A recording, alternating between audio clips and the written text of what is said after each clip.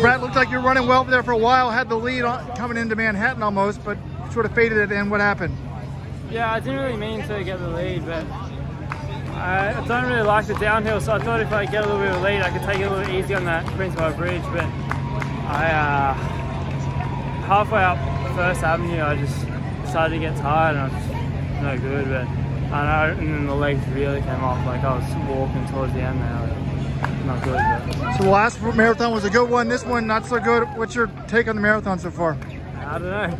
I was probably starting to wonder if I can go back to being a 1500 metre runner.